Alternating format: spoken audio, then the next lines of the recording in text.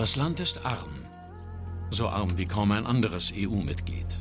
Rumänien. Sehr langsam geht es voran. Die Architektur ist noch aus Zeiten der Diktatur. In einem Bereich geht es aber sehr schnell. Rumänien hat die besten Internetverbindungen.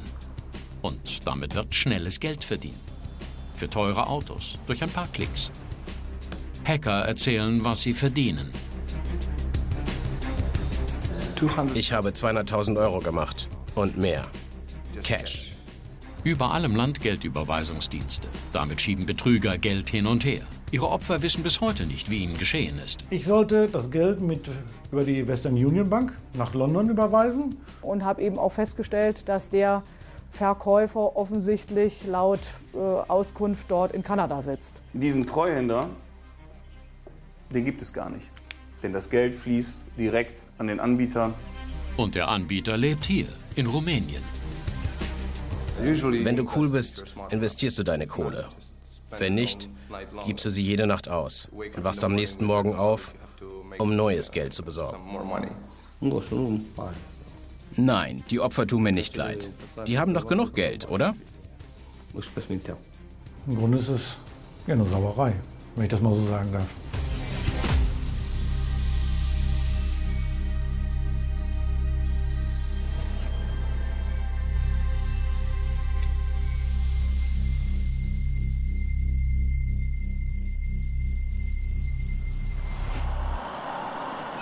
Die Story beginnt etwa eineinhalb Autostunden von Düsseldorf entfernt. Wir sind zu Gast bei Peter Hauswein und seiner Familie. Er ist Fernfahrer, seine Frau kümmert sich um Haushalt und die Kinder. Hinter dem Haus waren große Veränderungen geplant. Wo wir uns befinden, erklärt uns Peter Hauswein, dessen Namen wir geändert haben.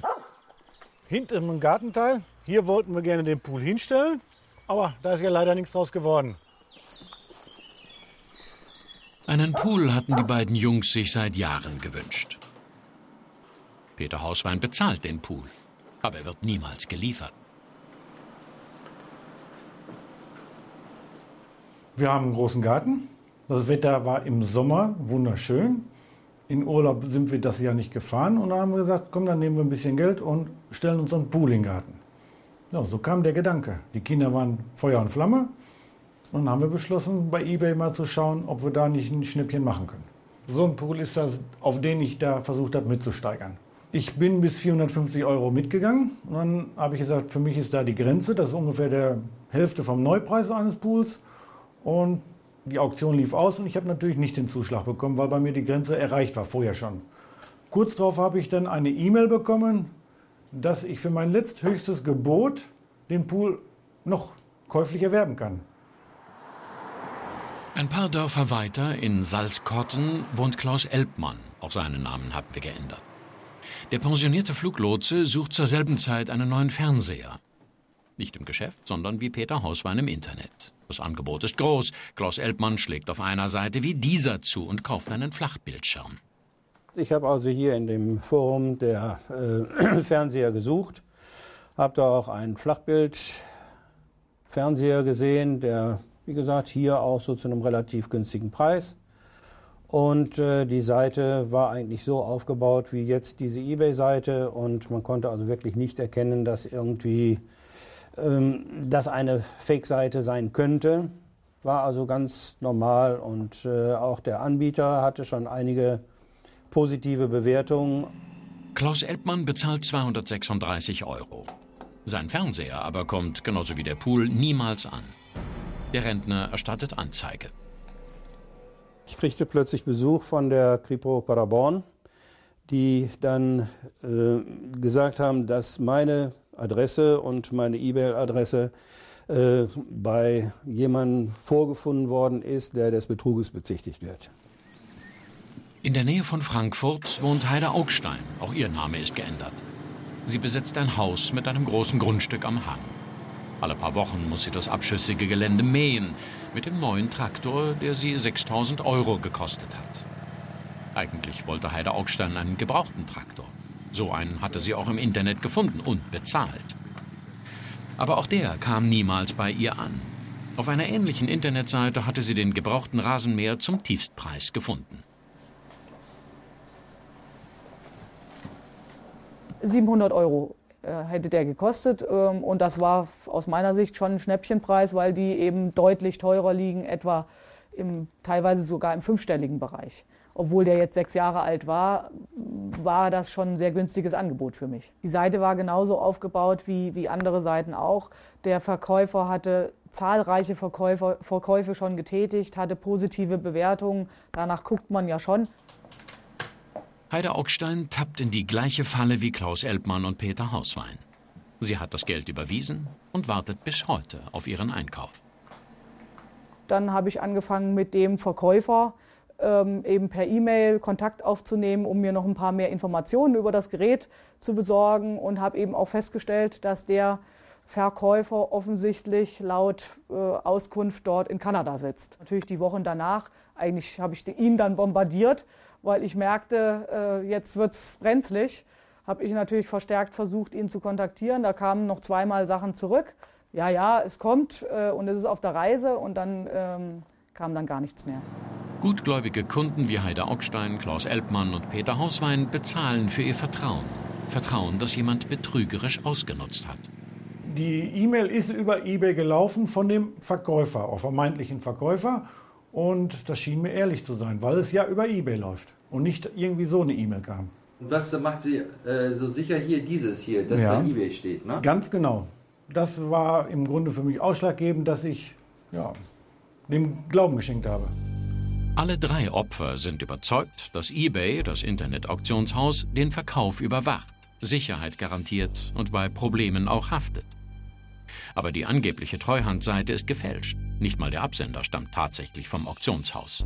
Findet nach erfolgter Bezahlung keine Warenauslieferung seitens des Verkäufers statt, garantiert die eBay-Gesellschaft für eine entsprechende Rückvergütung des Kaufpreises. So, jetzt kam mir das Ganze komisch vor, habe direkt die E-Mail, die ich ja von eBay bekommen habe, zurück an eBay geschickt, an das Sicherheitscenter. Und die haben mir auch kurz darauf geantwortet, dass ich leider ein Betrüger zum Opfer gefallen bin. Diese Art Betrug kennt man beim BKA, dem Bundeskriminalamt in Wiesbaden, seit Jahren. Bis heute fallen täglich Menschen auf solche Tricks herein. Hauptkommissar Mirko Manske ist mit seinen Kollegen zuständig für den Kampf gegen Internetkriminalität. Er zeigt, wie der Betrug abläuft. Treuhandbetrug, sagen Polizisten. Grundsätzlich äh, läuft, ähm, äh, läuft dieser Treuhandbetrug immer nach dem gleichen Muster. In der Mitte habe ich den Treuhänder, das ist meistens eine Firma, die mag vielleicht so, nehmen wir das mal für den deutschen Markt bezogen, die mag vielleicht sogar auch in Deutschland sitzen. Auf jeden Fall hat die mal eine Internetseite. Dann habe ich unser Opfer, das ist jetzt derjenige, der auf der Suche nach einem Auto ist. Oder nach einem Schnäppchen. Genau, nach einem Schnäppchen. Und auf der anderen Seite habe ich den Bösen, der ihm genau dieses Schnäppchen im Internet anbietet. So, jetzt kommt es zu Verhandlungen zwischen den beiden und er erklärt ihm, das Ding da steht momentan nicht in Deutschland, sondern noch in England oder in Frankreich, auf jeden Fall irgendwo, wo du nicht so ohne weiteres hinkommst. Bei Heide Augstein behauptete der Betrüger, er lebe in Kanada. Bei Klaus Elbmann und Peter Hauswein soll es London gewesen sein. Ich sollte das Geld mit über die Western Union Bank nach London überweisen und darauf würde ich sofort den, den Pool zugesandt bekommen. Per Post oder wie? Ja, per Post. Und äh, haben Sie das auch noch da? Ja. Western Union Überweisung? Ja. Das ist die Original Western Union Durchschrift. Und an wen haben Sie es adressiert? Das geht an einen Herrn Rosemann, Bernd Rosemann in London. Und der ist dann irgendwie hingegangen und hat Ihre 450 Euro abgeholt. Ja, ich musste ihm die Transaktionsnummer per E-Mail durchgeben. Das habe ich natürlich ja gemacht, weil ich das Ganze ja auch geglaubt habe. Ja. Wenn der Treuhänder deine Zahlung bekommen hat und du damit auch wirklich deinen Kaufwillen bewiesen hast, also Geld geht nach da, dann gebe ich der Spedition mein Okay und dieser Treuhänder veranlasst dann, dass das Auto zu dir geschickt wird. Und erst, wenn das Fahrzeug bei dir angekommen ist und du bist zufrieden, dann bekomme ich von dir mein Geld. Das ist der Plan. Also das ist auch das, was dem Kunden erzählt wird. De facto läuft eigentlich auch alles so, wie auf dem Bild dargestellt. Einzig, das da passiert leider nie. Das Auto wird niemals kommen. Und diesen Treuhänder, den gibt es gar nicht. Denn das Geld fließt direkt an den Anbieter. Der ist vorgegaukelt, das Auto ist vorgegaukelt. Das heißt, ganz zum Schluss bleibt eigentlich nur noch eins. Das Auto hat es ja auch nie gegeben, den Treuhänder hat es nicht gegeben. Zum Schluss haben wir einen Geschädigten, der ein günstiges Auto kaufen wollte und dafür 5000 Euro oder 5000 US-Dollar an jemanden gezahlt hat, den er gar nicht kennt. Vorkasse. Das ist der Trick beim Treuhandbetrug. Seit Jahren ein lukratives Geschäft. Oft sitzen die Betrüger im Ausland, sagen die Fachleute vom BKA. Und bisher verliefen die Spuren vor allem in Osteuropa meistens im Sand. Dann kriegte ich nach wiederum einer gewissen Zeit, kriegte ich dann Post aus Rumänien per Einschreiben, dass ich ja im Grunde, bin ich vorgeladen worden, in Rumänien an der Gerichtsverhandlung teilzunehmen. Auch Heide Augstein und Klaus Elbmann bekommen ein solches Schreiben. Offensichtlich sind sie auf dieselbe Bande in Rumänien hereingefallen. Sie sollen als Zeuge aussagen. Ich habe noch nie Post aus Rumänien gekriegt. Insofern, als ich das dann aufgemacht habe, war ich sehr überrascht, dass äh, offensichtlich die Recherche der Polizei in Europa zu irgendeinem Erfolg geführt haben muss. Haben Sie denn nicht ein Interesse, mal vielleicht den oder diejenigen zu sehen, die Sie da so reingelegt haben beim Kauf des Fernsehers? Hätte ich gerne, aber äh, wie gesagt, dazu müsste ich nach Rumänien hin und äh, das ist einfach, das wiegt es nicht auf. Die deutschen Zeugen sollen zur Gerichtsverhandlung nach Rimniku Vulca kommen. Dort hat man eine Bande von 80 Internetbetrügern gefasst, die wahrscheinlich auch die drei Deutschen abgezockt haben. Wir geben den Namen der Stadt Rimniku Vulca bei Google ein und finden etliche Zeitungsartikel. Sie alle nennen die Stadt nur Hackerville oder Welthauptstadt des Internetbetruges. Wir fahren nach Rimnico Vulca, gut zwei Autostunden von der Hauptstadt Bukarest entfernt. In Rumänien kennt man die Stadt schon ewig, wegen ihres guten Klimas, dem eine heilende Wirkung nachgesagt wird. 100.000 Menschen leben hier. Die drei Deutschen sollten ihre Aussage in diesem Gericht machen. Als wir das Gebäude mit der Kamera betreten, verbergen junge Männer ihre Gesichter. Später hören wir, einige werden hier wie Helden verehrt, denn sie sind als Hacker bis ins Herz internationaler Konzerne und verschiedenster Geheimdienste vorgedrungen. Fast alle hier warten auf ihren Prozess. Viele der Angeklagten sind wegen des eBay-Betruges hier. Das zeigen die Aushänge vor den Verhandlungssälen. Am Hinterausgang geht es für die ersten Abgeurteilten gleich ins Gefängnis. Vor den Toren der Stadt, wo die Luft rein, sauber und heilend sein soll, lebt ein deutscher Rentner. Wir nehmen Kontakt zu ihm auf, weil er sich in einem Internetblog zu den rumänischen Hackern geäußert hat. Er lädt uns zu sich ein, denn er weiß viel über die Hackerszene in Rimniku Vulca. Fünf Kilometer außerhalb des Stadtzentrums wohnt er hinter dieser dicken Mauer. Achim Schiprit aus Essen war mal Polizist. Seit 1993 ist er im Ruhestand. Hallo, Herzlich willkommen in Budesti, in einer Gemeinde kurz vor Rimnico Vilca, im Landkreis Vilca. Schönes Wetter heute. Dürfen wir bei Ihnen mal ein bisschen über die Mauer gucken, wie man so sagt? Ja, kommen Sie rein. Ja, dann machen wir das. Achim Schiprit war lange schwer krank. Zwei Schlaganfälle, Diabetes und sein Kiefer, der nach einem Sturz nicht heilen wollte, machten ihn zum Frührentner. Seine Frau ist Rumänin und stammt aus Rimnicu Vulca. Vor zehn Jahren entschlossen sich die beiden hierher zu ziehen. Der Ex-Polizist betreibt Ackerbau und Viehzucht und kennt die Menschen hier sehr gut. Sie wissen gar nicht, was wir hier alles mitgemacht haben. Ich bin also wegen Zauberei verklagt worden, nur weil ich meinen äh, Schwager erklärt habe, wie die äh, Schaltzeichen für elektronische Teilchen sind und weil ich dann abends hier eine, äh, eine Kerze angemacht habe gegen die Mücken. bin ich vor Gericht gelandet. Es gibt hier in Rumänien eine Mentalität. Und zwar, der, der hat, der darf man nehmen. Ja, als wir die Mauer noch nicht hatten, sind die Leute uns einfach hier beim Zaun gestiegen und haben hier sich bedient. Das ist also ganz normal hier. Und als wir uns aufgeregt haben, waren die also sehr entrüstet und haben uns einfach gesagt, sie haben es doch. Warum regen sie sich denn auf? Ne? Und seit die Mauer da ist, ist wieder besser, ne? Ja, und haben unsere Ruhe. Vor der Haustür von Achim Schiprit sieht es noch genauso aus wie vor 100 Jahren.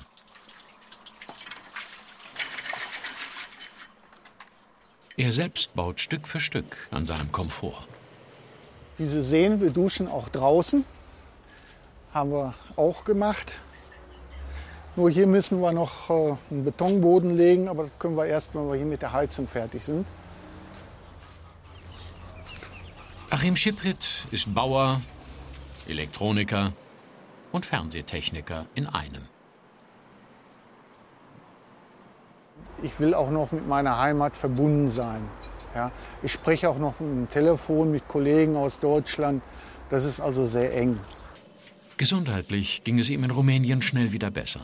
Die eigenen Produkte, das bessere Klima, alles das hat ihm gut getan, sagt er. Er lebt gern hier, auch wenn sein anderes Leben voller Widersprüche ist.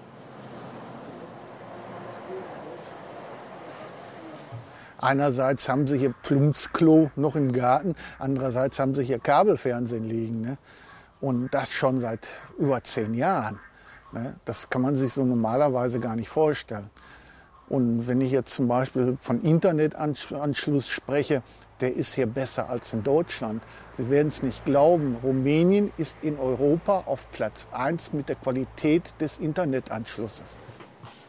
Und weil das Internet hier so schnell ist, nutzt Achim Scheprit es täglich. Er spricht dann mit seiner Familie und den Freunden in Deutschland.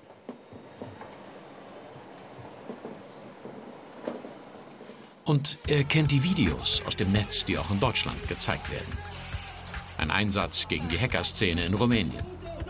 Zunächst zeigt die Polizei die Bilder im Fernsehen, dann laufen sie im Internet und auf YouTube. Die rumänische Polizei macht damit Werbung für ihre durchgreifenden Ermittlungen gegen die Hacker im Land. Das ist gut für ihr Image.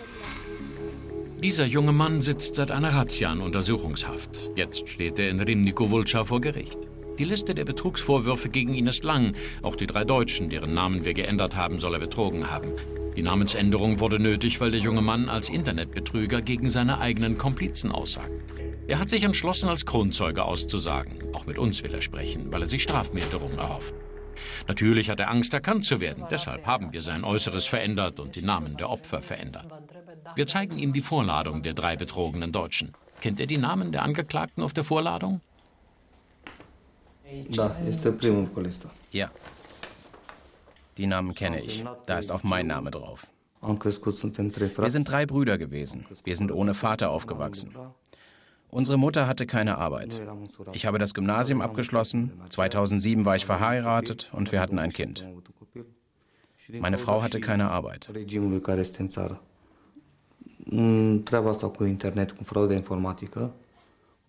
Vom Internetbetrug habe ich 2007 gehört ich habe dann versucht, das zu machen, was alle anderen Jungs auch gemacht haben. Ich hatte aber weder Computer noch Englischkenntnisse. Also habe ich es zusammen mit einem Freund versucht, der sich besser auskannte.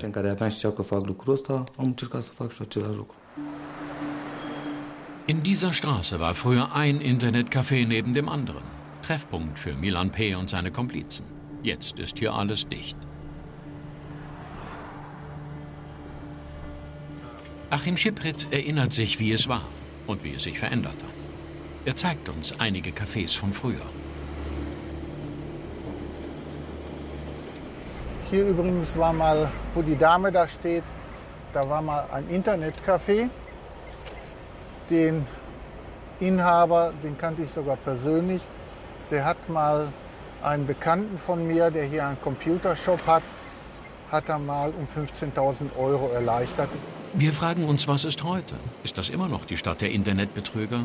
Die Internetcafés, in denen die Hacker arbeiteten, sind geschlossen. Und das Geschäft? Mein Freund konnte Englisch. Er stellte Auktionen bei eBay ein. Wir boten unterschiedlichste Produkte an, zum Beispiel Telefone, aber alles unter Normalpreis. Wenn zum Beispiel ein Telefon 300 Euro kostete, verkauften wir es für 150. Die Produkte waren fiktiv. Wir hatten sie gar nicht. Nicht nur für fiktive Handys müssen sich Milan P. und andere Bandenmitglieder vor Gericht verantworten. Sie sollen auch Heider Augstein um die 700 Euro für den Rasenmäher gebracht haben. Er und seine Komplizen haben sich laut Anklage genauso die 236 Euro für den Flachbildschirm von Klaus Elbmann eingesteckt. Und auch die 450 Euro für den Pool von Peter Hauswein landen auf dem Konto von Milan P. und den anderen. Dazu kommen tausende weitere Geschädigte, zumeist aus den USA. Etwa eine Autostunde von Rimniku Vulca entfernt treffen wir Richter Florin Encescu. Er ist Experte für Internetkriminalität und vertritt Rumänien sogar bei der Europäischen Union. Wir fragen den Richter, wie stark er die Hacker von Rimnicu Vulca heute einschätzt. Rimnicu Vulca ist zum Mythos geworden. Computerkriminalität hat in Rumänien in Rimnicu Vulca angefangen. Es ist die Kriminalität der weißen Kragen. Sie ist gesellschaftlich nicht schlecht angesehen, denn diese Kriminalität tut nur einigen auf dem Konto weh când vorbim despre bugetul uh, fiecăruia. Rimneke Vulca von oben, die Heimat des Hackers Milan P. Dieses Viertel war sein Zuhause und das seiner Komplizen. Einige wohnen immer noch hier. Darauf deuten die teuren Autos hin, die vor den Plattenbauten aus kommunistischer Zeit parken. Denn die Hacker verdienen gut.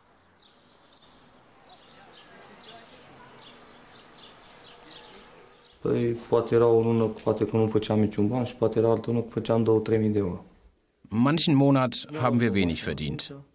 Dann hatten wir 3000 Euro und mehr. Wir arbeiteten jeden Tag.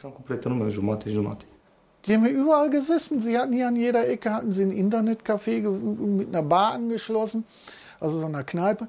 Und da haben die mit ihren Autos vorgestanden und da hat keiner einen Hehl rausgemacht.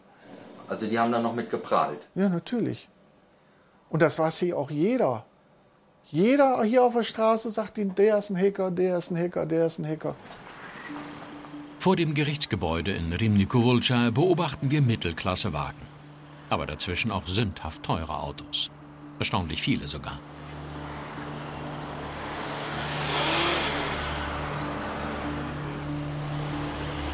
Am Steuer meist junge Männer. Ihre Luxusautos verleihen der ganzen Stadt einen Hauch von Wohlstand und Reichtum. Und woran erkennt man einen Hacker? Äh, tätowiert von Kopf bis Fuß, jung und viel Geld in der Tasche. Und ein dickes Auto natürlich. Ne? Auf der einen Seite die jungen Reichen, auf der anderen die Bewohner, die sehr genau rechnen müssen. Doch das Geschäft mit den Autos ist einträglich. Sonst gäbe es hier nicht den größten Autohändler für solche Wagentypen in der Umgebung von Rimnicu Vulca. Der Geschäftsführer Katalin Stefanoiu ist ganz offen.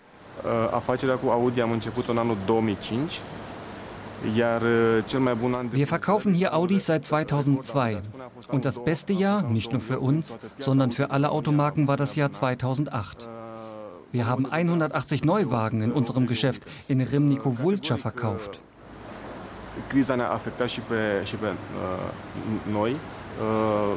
Die Krise hat uns natürlich auch getroffen. Aber wir haben Lösungen gefunden.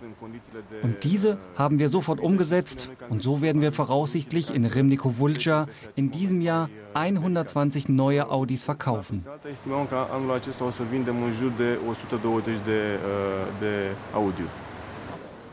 Eine Stadt von 100.000 Einwohnern und über 100 deutsche Premium-Autos verkauft. Das ist viel. Denn das Monatseinkommen der Menschen hier liegt im Schnitt bei etwa 250 bis 300 Euro.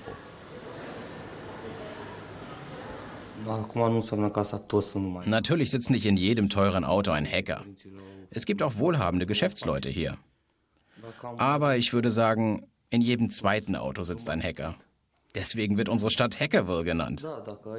Wir sind die Größten. Achim Schiprit betreibt heute ein kleines Ladenlokal in Rimnico Vulca. Darin arbeitet seine Frau. Kurz bevor der Laden fertig war, kam ein junger Mann und bot 700 Euro Monatsmiete. Achim Schiprit griff zu und vermietete erst mal wieder.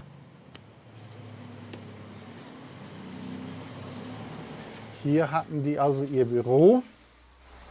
Wer ist jetzt wie? Erzählt es uns doch mal bitte. Ja, die Hacker, die sich hier eingenistet hatten. Wir sehen hier also noch die Überreste ihrer Verkabelung.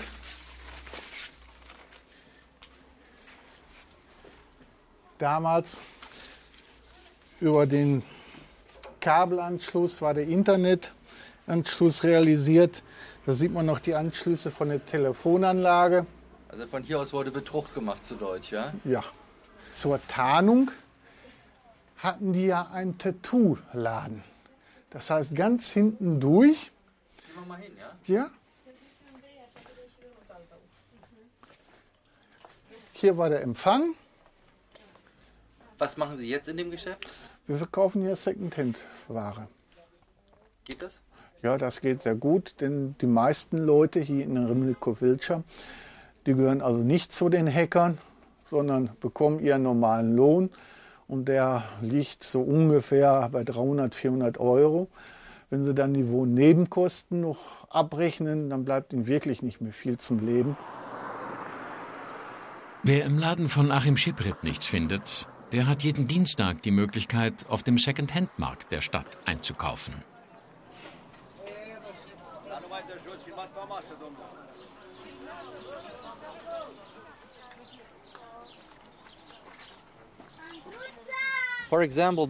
Zum Beispiel, was kostet diese Lederjacke?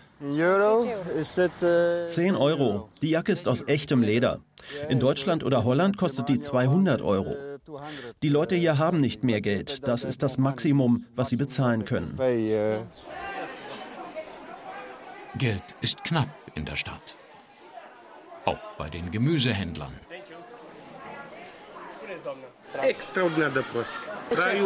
Es geht uns ziemlich schlecht. Es wird immer schlechter und schwieriger. Du kaufst zwei Scheiben Brot und eine Scheibe Salami und tschüss. Morgen geht's von vorn los. Auf der Straße ist die Stimmung nicht besser.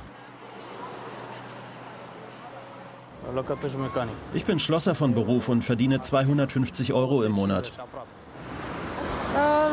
Ich bin Psychologin in einem Kinderheim und mag die Arbeit sehr. Ich verdiene umgerechnet 180 Euro im Monat.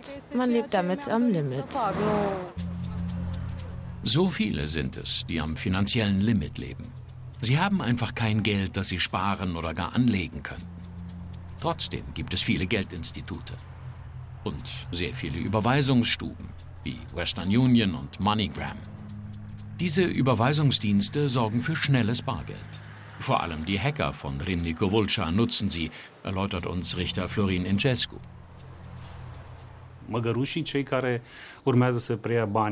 Diejenigen, die das Geld von MoneyGram oder Western Union abholen, sind die sogenannten Esel, die Mittelsmänner, die die anderen Mitglieder der Bande gar nicht kennen.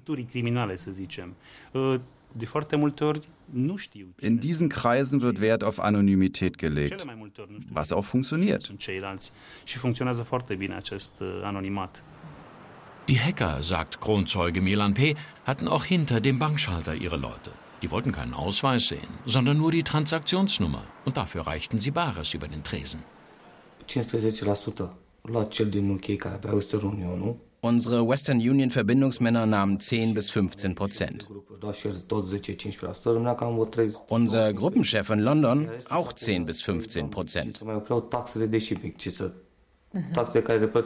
In Ramnico Vulca kamen von 1000 Euro dann nur noch 700 bei uns an. Es ist schwer zu sagen, wie viel Geld die Kriminellen damit eingenommen haben. Viele haben ihr Geld in Vergnügungslokalen ausgegeben. Mit dem restlichen Geld haben sie Güter, oft Immobilien oder Autos erworben.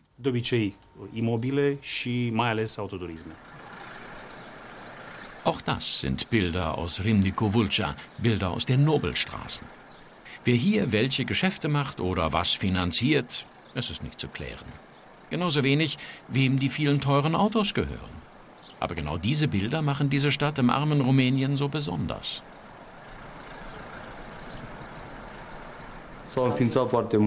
Es wurden sehr viele Banken, Geschäfte und Restaurants eröffnet.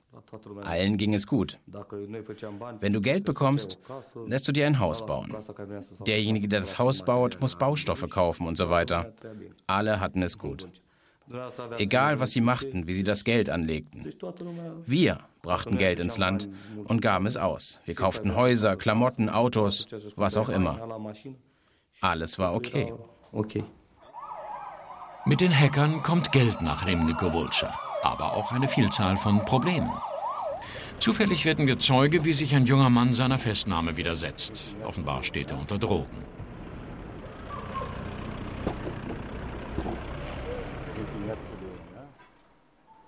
Für den Richter Florin Encescu ist das Schlimmste überstanden. Er sieht die Hacker auf dem Rückzug. Laut Statistik waren wir vor einem bis zwei Jahren auf einem ehrenwürdigen Platz 5, was manche Arten von Computerkriminalität angeht. Weiter vorne waren natürlich die großen Länder wie die USA und Russland.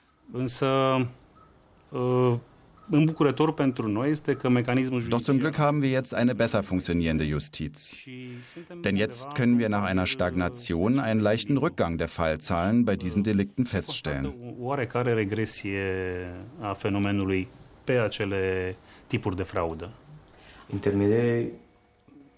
Viele von denen, die später festgenommen wurden, waren nicht die mit Computerkenntnissen, sondern die Mittelsmänner, die Esel. Jetzt geht man immer öfter und schneller gegen die Hacker vor. Rumänien als EU-Land steht unter Druck. Es kann sich die betrügerischen Hacker international nicht mehr leisten.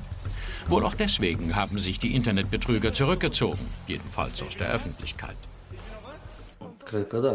Ich denke, die, die nicht gefasst wurden, machen alle weiter. Die Hacker haben zudem einen neuen Trick. Sie gehen über anonyme Prepaid-Handys ins Internet. Die lassen sich kaum noch orten und bereiten der Polizei große Schwierigkeiten, den Spuren der Hacker zu folgen.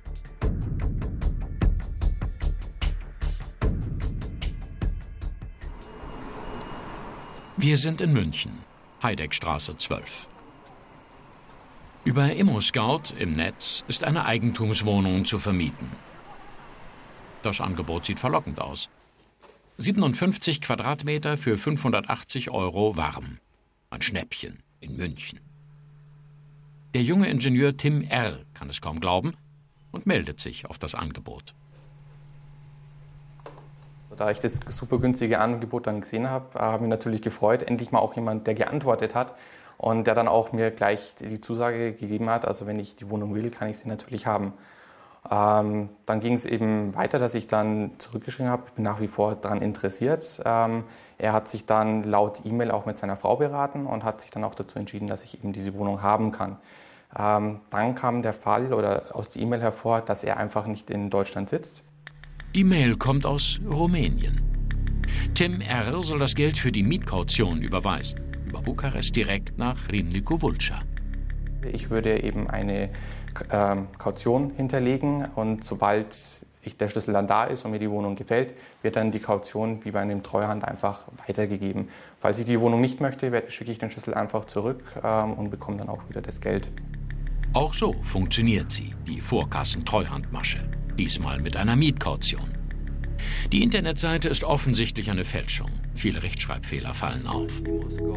Hauptkommissar Mirko Manske vom Bundeskriminalamt in Wiesbaden sieht auf Anhieb weitere Ungereimtheiten. Also das ähm, Geschäftsmodell, nehmen wir mal an, es wäre ein, ein, ein echtes Geschäftsmodell, mutet ja schon etwas seltsam an. Ich muss eine Vorauszahlung leisten, bekomme dann äh, den Schlüssel per, per Paket übermittelt und kann mir dann die Wohnung angucken. Also das äh, mutet schon etwas komisch an. Ähm, und äh, die Schlüssel für meine wunderschöne Wohnung in München kommen dann auch noch, zumindest ausweislich äh, dieses Ausdrucks, aus Bukarest in Rumänien. Klingt also auf den ersten Blick nicht wirklich, äh, nicht wirklich plausibel, aber wir können ja vielleicht einfach mal gucken, was das Internet darüber ausspuckt.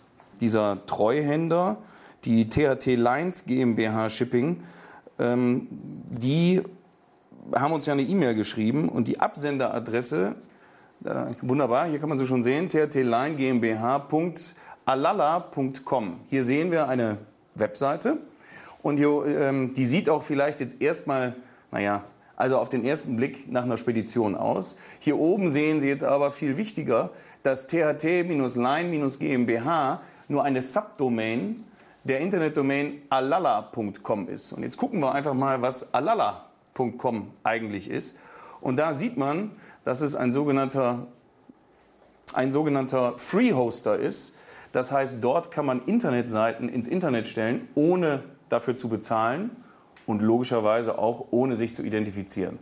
Also ein Dienstleister würde niemals einen Free Hoster nutzen, um die Internetseite dieser Spedition ähm, im Internet präsent zu haben. Tim R. nahm das Wohnungsangebot nicht an. Er, der erfahrene Internetnutzer, hat die vielen Ungereimtheiten durchschaut, wie die zweifelhafte Domain, die Rechtschreibfehler und die dubiose Adresse im rumänischen Rimnicu Vulca. Dass Internetangebote aus dieser Region mit Vorsicht zu genießen sind, hat sich herumgesprochen. Je nach Geschäftsmodell, das von der Gegenseite vom Kriminellen betrieben wird, lassen sich schon gewisse regionale Schwerpunkte feststellen. Ähm, bestimmte Arten, bestimmte Modi operandi werden einfach, zumindest nach, unseren, nach unserer Einschätzung, häufiger aus Schwarzafrika heraus begangen. Ähm, manche äh, andere Arten von Manipulationen sind eher in Osteuropa beheimatet. Ähm, es liegt wahrscheinlich auch einfach immer so ein bisschen daran, ähm, welche technischen und auch äh, intellektuellen Infrastrukturen in bestimmten Bereichen vorliegen. In der Hauptstadt Bukarest wollen wir überprüfen, was Hauptkommissar Manske angedeutet hat. Stimmt es, dass bestimmte Formen des Betrugs von gewissen Ländern ausgehen? Osteuropa, besonders Rumänien, ist in Polizeikreisen berüchtigt für den Internetbetrug. Hat das damit zu tun, dass Rumänien erstaunlich früh auf Informatik gesetzt hat? Wir treffen an der Universität den Institutsleiter Dr. Radu Gramatovici. Er sieht seine Studenten im internationalen Vergleich weit vorn. Äh, äh, ich kann das zwar nicht mit einer Studie belegen, aber es stimmt, dass während des kommunistischen Regimes nicht nur in Rumänien, sondern in ganz Osteuropa Mathematik und Informatik sehr ernst genommen wurden. Es entstand eine Informatikschule, deren Früchte wir heute sehen, indem unsere Absolventen überall auf der Welt anerkannt und geschätzt werden. Foarte bine apreciați în, peste tot în lume. Rumänische Internetspezialisten. Werden sie gleich hier ausgebildet? Uh, die rumänischen Hacker, die im Laufe der Zeit erwischt wurden, verfügten in der Regel nur über eine rudimentäre Universitätsausbildung. Eigentlich waren das Studienabbrecher. Die bekannten richtigen Hacker aber waren Autodidakten und auch wenn sie bei uns an der Uni eingeschrieben waren, so gehörten sie keinesfalls zu den besten Studenten.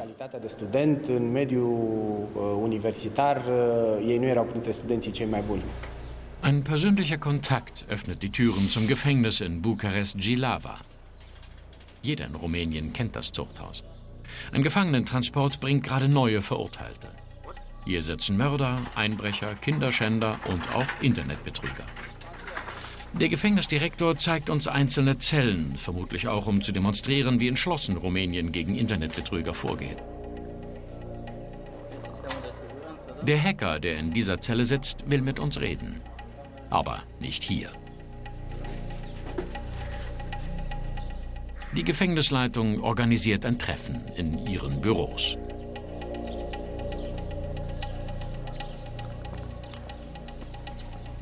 Wie viele Jahre haben Sie bekommen? Ich habe sieben Jahre bekommen. Und was haben Sie gemacht? Was Illegales. Und was für illegale Sachen waren denn das? Wofür man ins Gefängnis kommt. Ich habe gefälschte Angebote bei eBay eingestellt. Gefälschte Auktionen. Mit geringerem Preis als üblich. Damit habe ich die Leute gelockt. Ich habe 200.000 Euro und mehr damit gemacht. In Bar. Noch nicht eingerechnet meine Investitionen wie Grundstückskauf und Autos. Hatten die ein großes Auto? Ja, aber das wurde mir weggenommen. Was für ein Auto war das? Ein sehr teures Auto. Ein deutsches Auto. Ein Mercedes oder ein Audi? Ein Mercedes. Ein Mercedes 500 vielleicht? Nein, CLS. Wenn du cool genug bist, investierst du das Beutegeld. Wenn nicht, gibst du es in den Nächten aus und wachst mit Kopfweh auf und musst gleich wieder Geld besorgen. Das macht jeder, wie er will. Ist es schwer für Sie, hier im Gefängnis zu sein? Was denken Sie? Klar ist das hart. Bei guter Führung kommt Alex in etwa einem Jahr frei. Fünf Jahre sitzt er schon. Ob er dann weitermacht? Oh nein, sagt er. Eher zieht er sich als Privatier auf eines seiner Anwesen am Mittelmeer zurück und genießt das Leben.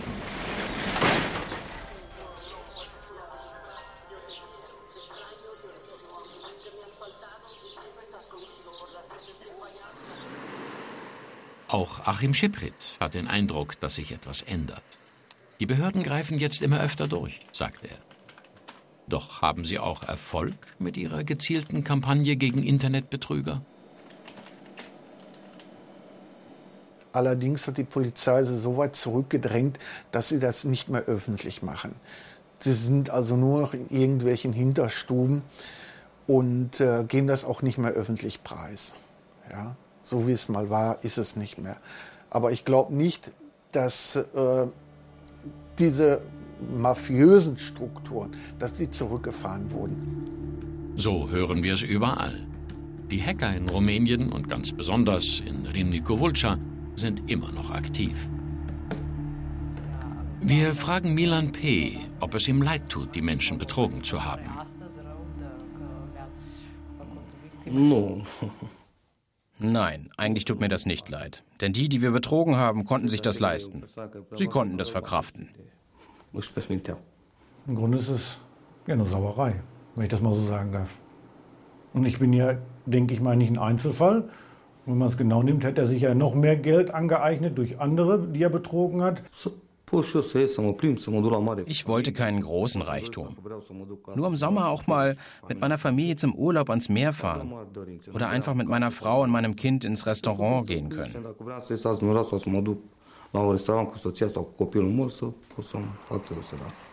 Menschen wie Milan, unser Kronzeuge. Er will leben wie die, die er betrogen hat, die mehr Geld haben als er und verstärkt damit die soziale Kluft im eigenen Land.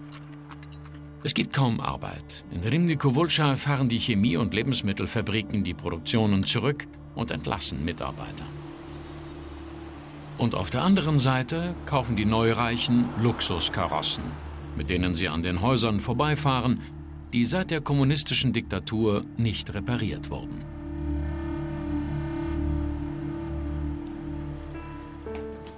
Die Hacker aber haben ihr Geld zur Seite geschafft. Viele arbeiten jetzt nicht mehr so öffentlich wie vor den Ermittlungen. Einige sind ins Ausland gegangen.